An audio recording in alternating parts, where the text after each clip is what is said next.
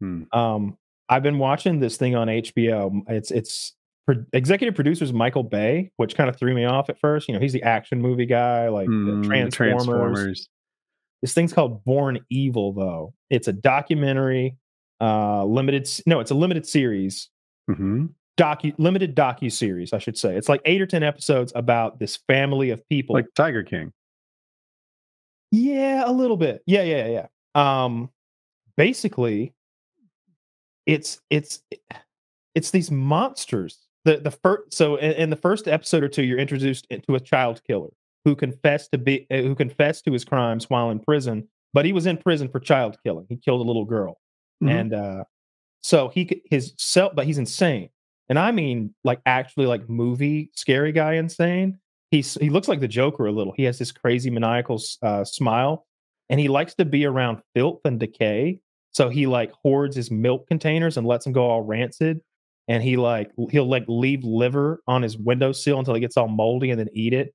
He'll hang sausages up from the the ceiling of his cell to let them get all rotten and moldy and then eat those. There's an wants- Elden Ring character like this, but carry on. he, he says it remind he told his his cellmate he confided that that's him that's him when he was looking good all right Mhm. Th- I, I promise you he shaved his head later on it, it, it- and then he started smiling a lot and it's it's rough he he uh, he told his cellmate that he it reminded him of the smell of human decay and he liked that smell. Um but he had what, what was the thing he did that was fucked? I mean other than killing the children. Oh! His cellmate the way this all comes out his cellmate This is better top child murder. it does. This is great. Okay. his his cellmate is one of these guys who embraces the Jesus look, long black hair and the beard, and they happen to be shaped kind of like Jesus. And it's and you know they end up with a nickname, Yo Jesus. Remember, remember Walking Dead? There was a Jesus. Look like this him. dude was one of those guys. So when this insane child killer gets him as a cellmate, he goes, "Oh, I've prayed to you for so long."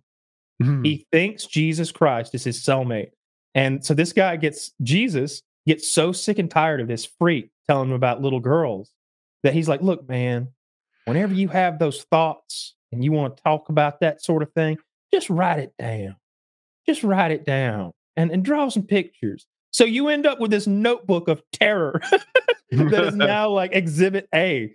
And he and Jesus is talking to the camera because he's a free man now. He was in for weed smuggling, like a lot of weed smuggling oh, so he's not crazy, crazy. he's hippie. No, he's he's a part of the documentary now. He's he's being mm-hmm. interviewed on He's the pretty outside cool, world. actually.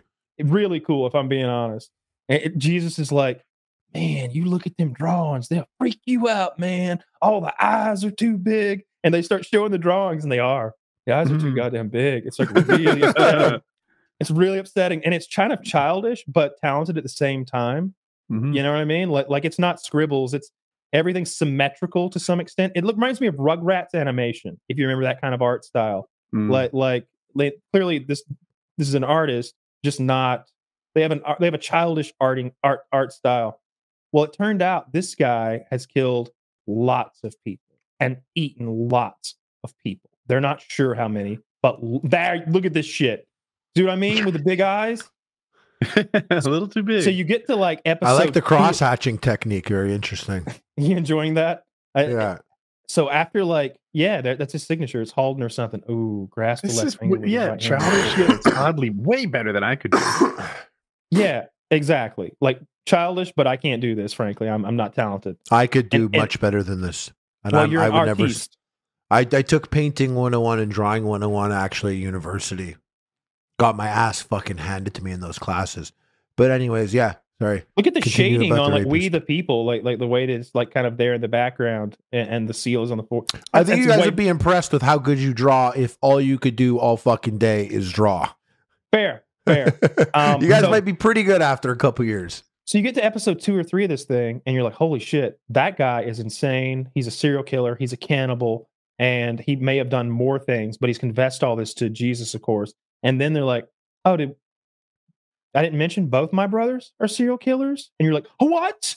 And now we go to his the second brother on the other coast of the United States, completely separate crimes, also killing little girls and children and and doing sex cri- and raping and he's and this guy's like a cross dresser as well. He like murdered this lady and then put her clothes and then like dressed as a woman to like leave her house so it wouldn't look suspicious. He um oh, what was the other thing? It, it's so creepy, both of them. Like, like I keep getting them a little confused, but their crimes are so similar: killing little girls and burying them. Oh, they have the interrogation footage when they when they got him to the police station. They they they found some evidence that links him to to this little girl's murder, like maybe some blood in a room he stayed in, like Mhm. something like that. And so first they send in two pretty police women to like kind of crowd him a little. Like he's sitting on like a two wide seat, like like 2 Mhm. things wide. So one of the gals sits next to him, and the other police woman sits across from him. And she actually, she, they told her they're like dress sexy, like dress up, like like like put on your, you know, dress like you're going on a date. And so like at one point she's like, look at this new slip I got. She pulls her skirt up a little so he can see this like lace slip that she's got on. And to hear her tell the story, because she's telling it today, this is 20 years ago. She's Mhm. like, and his eyes got big. You could tell he liked it. Then they show the video, and he it's more like nice. Like it's more like, I don't give a fuck. Thi- right? Like this dude is this dude is is weird. And so the girls are like crowding him, being weird with him, doing weird shit with a teddy bear that's sexually um, explicit a little. And they're the guys see this ain't working. And the dude stands up. He's like trying to walk out on the women. Like, I'm I've had enough of this. So then they They're like send the- 30 years too old. they send two dudes in now and these and and one of them sits next to him and the other sits across from him and they've got him crowded again and the dude sitting next to him he's part of the documentary so you get to see the old version of him you know bald headed and gray bearded and Hmm. he's he's telling the story with glee because he knows this guy's a monster. He's like you know we shook him up a little. And they're all over him. Like like he's like he's like flicking this guy's nipple and the guy's like oh don't flick my nipple dude. What the fuck? And he's like arm around him. He's like dude get your arm off of me. He's like what? Oh, we're being friendly here. That's how we do things around here. We're all friendly. And these cops are feeling this guy up like like like like rubbing all over and flicking his nipple and then one guy the other guy goes what kind of panties has he got on oh you know he's got girly panties on let's and he starts like he reaches to like his hip so you can kind of grab his waistband and pull him out. He's like, "Look, women's briefs. Look at that. Told you had Did he? girly." Yeah, yeah. This guy's in, this guy's a cross-dressing crazy person, straight out of Silence of the Lambs. Mhm. And and so then like I didn't see it, but they acted like he made a move he shouldn't have. So then the next thing you know, the guy sitting next to him is strangling him, and the other guy's holding his hands down at his pocket so he can't lift his arms. And he's going, "I'll kill you. You know we're gonna kill you. We know what you did. You sick fucker." They're like torturing him now. Like, Right. They're like pulling his underwear out. They're flipping his nipples. They're crowding him, getting way too close. I wonder what he did to earn a strangling. Probably not. not much. It did. Right. I, I think they just started strangling him. Mhm. and and you're seeing all this in, like 25 year old footage and then they cut back to the guy and he's like we got in a little trouble about that some people complained and it's mm-hmm. like this was not the end of his career this video of him choking this man in the interrogation room I and was like, chastised. you know Are you talking about kill- that that killer documentary you've been watching? yes that's Oh, okay. th- that's how they interrogated one He but was a doesn't strangler. No, Was no, that the his method of choice? no this is the cops torturing him in the interrogation room Oh, Like well, he was a serial him- killer. I'm okay with that. Yes, exactly. But here's the thing: he just takes it. He almost doesn't care. He'll kind of like, He's like, ah, like ah. he's not that, but he's also not like like freaking Who were out his that victims? much. Were they Little girl, just chil- children and women. Uh, Okay. It seems like it, it seemed like a lot of um, children and women. easy He was- ones. yeah? he- he's going for easy targets. He's doing serial The- killer challenge on easy mode. I can't remember if he was the one who had like cut the girl's nipple off and they and then dismembered her in the trunk of his car. And they oh, he like- was going for the disgusting pervert achievement. They're like, we never of, uh, did find the nipple. They kept going on about it. We searched for that nipple. You know, high and high and low. We looked for the nipple, and they cut to another person. Never found the breast, the breast pieces. Um, he. I- said that he how long is it going to last, right? How long can a nipple stay out there detached from a person until you're Well, like, I think he maybe had it somewhere. I'm like, pretty sure as that Ed uh, Ed Gein made a belt out of human nipples. you know how many nipples it takes to So make clearly a belt? they can stay together somehow. Dude, Ed Gein was a monster. He you got to do He had no something. shortage of you got to victims. have It some depends. preserving Have I been on a cut? Like, So then, I, uh, like, so then oh, you I'm get hang, you get so that's the second serial killer brother, and then the third brother is a is like a sixty five year old trans person, maybe with like scabs on his head and like like like wearing this ridiculous Mario Brothers like get up, meth or something, it's- like meth scabs. but seems like a you know a person who's been damaged by, an, by a rough life, and um And Man, what then a strike out of a family.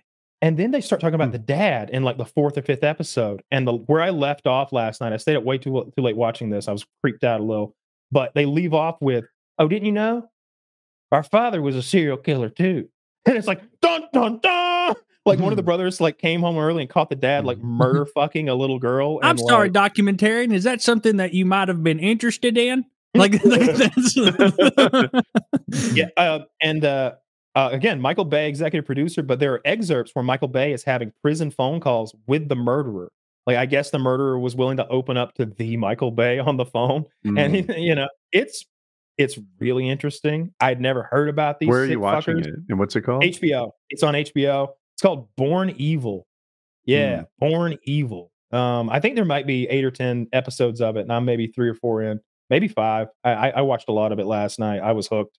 When when they they did that Tiger King like thing at the very end, where they're like, "Oh, didn't I mention both my brothers are serial killers?" And it's like, whoa, a different serial killer now. The first one was so evil. This one can't be that bad, and the second one's just what's their super their evil. total? Like, I- who was the most successful of the killers? So the? They've they've only sort of alluded to that at this point because the one guy was in the Navy and he claimed to have killed someone at every time the boat stopped. At every port he had killed a person and and um that could be they- a little serial killer, killer uh, bloviating. They they tend to do that sometimes. well they, he's an insane person. So Yeah. you have to so that, that's kind of the line they seem to be walking. I they haven't gotten to the part where they start identifying lots and lots Mm-hmm. of like strings of bodies, but they do have I think murders that corresponded with his stops or something like that, maybe disappearances. Interesting. So Maybe there, was there was the some truth. evidence. They haven't touched on that yet because they're doing so much of like their childhood and maybe like what went wrong with them. And because the one guy in interrogation is like, my daddy used to dress me up in a dress, and put me in the ass. And they're, they're like, did he really? I don't believe that. Now tell us where the little girl is. You know, it's like Mhm. it's like you don't believe that. Um, they they took the one oh I you weren't here when I said it, but the guy started spilling the beans because his cellmate he, he's insane, and his new cellmate was one of those guys who looks just like Jesus Christ, like beard and hair and everything. And the cellmate played along. He's like, "Confess your sins, my son." and then ra- and then like then he's like, 911. That's need to- hilarious. I oh, yeah. saw it, it just Great. reminded me of this. The guy was on Reddit. Kyle probably saw it because he sees Reddit as much as me. But coming out of surgery, he's on anesthesia and he's all fucked up and loopy and he's filming himself. And he's like, I know I'm on a lot of drugs right now, but I I swear I see Jesus in the corner. And he turns the camera around and here's this guy in a robe with long hair. Hey, Pretending to be Jesus. You should be like, no, I don't like see him." anything. Speaking of the whole serial killer thing, that just last night I Hmm. was on whatever streaming service it is, and I was, you know, mostly watching Age of Mythology videos on my computer. And I was like, I want to have something in the background I haven't had in a while. And uh Hannibal, that show, Yeah, I'm watching which that right is uh too. it's a good show. It's a, it's a solid show. I really like that uh very- Mikkelsen actor, the guy Mads who plays Han- Hannibal. He's very Nice, good. sick. The uh the black guy, I really like him a lot. The the cop. I don't Yeah, remember what that actor's name is, That's but Laurence he's Fishburne. Laurence Fishburne. I love that guy and everything he's in. The the white guy who's like kind of the main character, not as not as sold on his performance, but like He's- the he's first okay. time I watched through that series, I was like, man, this guy Mads Mikkelsen, he's fucking sly. Like he knows exactly what to say. On this watch through, like even while watch, I was like pausing videos on my computer to look up, and like it would be the black guy coming from a case where a victim's heart had been pulled out of his chest and stolen. And they're like, we don't know what this guy's up to. Maybe he's eating the parts. Maybe he's just selling the parts. Maybe he's a bit of a uh, an organ, uh, uh, you know, Collector. intermediary. And he goes to Mads Mikkelsen's house and he'll be like, Oh, what is this delicious meal that I'm about to eat, insane German guy? And he's like, It's his heart. And we all have one. And he's like, What kind of heart is it? He's like, It is a cow heart. Very similar to a human heart. And you'll notice the flavors of the pudding I put on top of it or whatever. And he, he's saying shit that, like, if I were in that, if I were eating dinner, even not being a detective, I'd be like, Are we all hearing this? Like, are we all hearing this? He just said that, like, he's like, Oh, dinner is so important. Yes, it is. you can take another person and almost make them a part of you, couldn't He's you? always being Like, he's- he's not even doing like a sly thing about it. He's just like he literally he served these fuckers tongue after a woman's tongue had been cut out, and he was like, "Yes, this was a particularly chatty Kathy." Like, and it's like, like the woman who was just killed was like a journalist or some shit who had like been reporting on it. Like It's it's rap- it's beyond the pale. faster. And so I Yeah. love Laurence Fishburne or whoever, great actor, but as a detective, that guy A leaves a lot to be desired. dude. So he his character's Jack Crawford. It's it's in all the novels and everything, and he is he gets played for such a dope and such a goober. It- he he he seems like an absolute moron. yeah, he's Charlie Brown. Hannibal is always being very arch, like you said. He he's sort of like tongue in cheek. I'm smarter than everyone here because he He's is. overtly sinister. It's not even arch. He's overtly sinister to people. Lithuanian, by the way. Okay, well, it's Not the German. actor, and you know what character. we think about them. Oh, yeah, they're cool. I mean, if Hitler had his druthers, wouldn't they have been in the mix? No, they they were in the mix. They were No, part of they- the Soviet Union. no, I meant his mix. Oh, No, He left- actually, he they're very wouldn't have. pale- He did. I don't, I don't think he they're, they're wanted very them in the mix. pale and like, They're like they're far. white They're real. He was away. really a case by case basis down kind of guy. right. I think. He was. There was one group he You know, really didn't that's care what. I appreciate about kind him. of- Yeah. He You know, had his Jewish everybody- doctor, and he was Yeah. "You know, you're not so Jewish." Hmm. That's what you think. Well, it's true. He got I'm addicted. billing your HMO for additional services. Ah. He's looking at the bill. A seventy dollar Q-tip? Are you serious? Were they Deutschmark- were they Deutschmarks then? I don't know what they were. But regardless, Um, your your point about they're playing Crawford for a fool, which I don't like because I like him as a character. You should Yeah. see through that. They should at least make it harder for him to see. Well, well, all right. I'll tell you where it gets a little old. It- there are so many wackadoo serial killers like in their county that it's like after a while, it's like at least the see the X Files had a similar thing, but it would be across the country 'cause they're. FBI.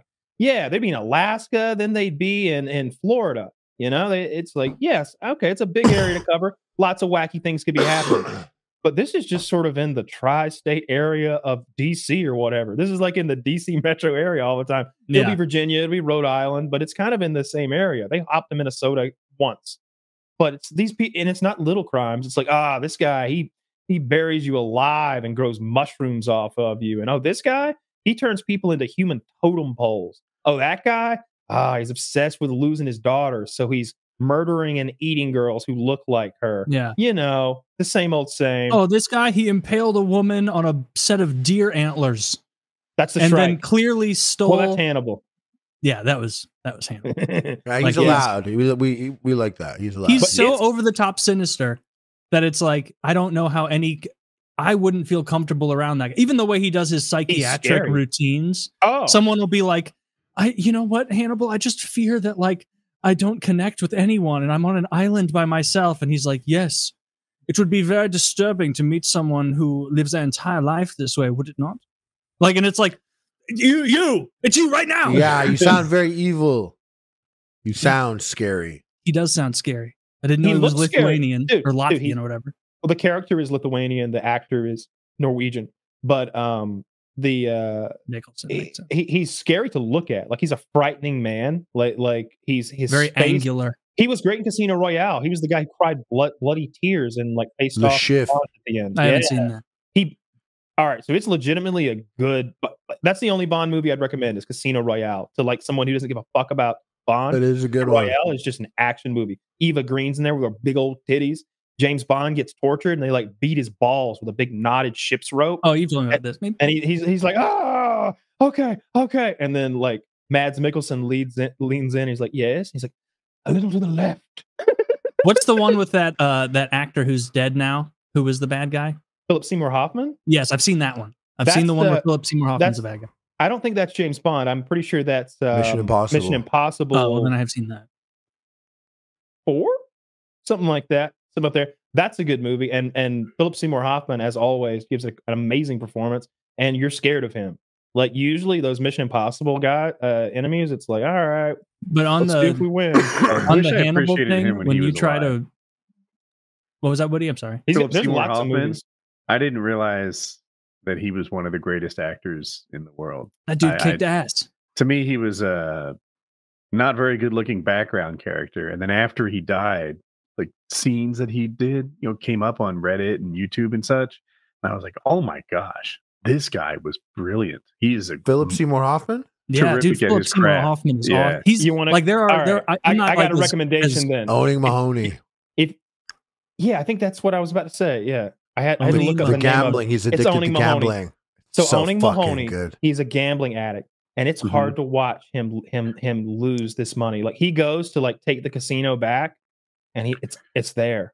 I don't know how much he's up, millions. It seemingly there's piles of money, and his buddy who's like a bellboy or something is like, "You got walk away. You got him. You beat him. Walk away." And he's like. Nah, nah, I gotta, nah, I can't do that. Can't do that. Is like, It's a great a- movie to watch. Doubt. That's- Doubt. Doubt he plays a priest. And I think Meryl Yeah. Streep maybe plays a nun. The nun thinks the priest is molesting a particular young boy. And we don't know. The audience is sort of left in this ambiguous middle area Mhm. where we we they, he is with the boy a lot, but seemingly he's taking him under his wing and just trying to be like the best guy ever. Because there's a fine line between someone who's going after a child and being creepy, or not a fine a fine line perceptively. Like from the outside looking in, Mhm. you might be confused whether someone is just the best dude you've ever met or the worst dude you've ever met by the way they act with a child they're trying to do something with. And you don't know as the audience. And, and, and at the end, I'm still like, I don't know if he molested that boy or not. I, I think he was, I like to believe he was not. That's how I've like come down uh, uh, like like since last time I watched it. But I don't know. I don't know. Hmm. And Meryl Streep is like trying to ruin him. She's and and there's these really powerful scenes of just them talking, and she's accusing and he's defending and he's crying, and I Have should you, watch uh, more of his Have stuff. you seen The Master?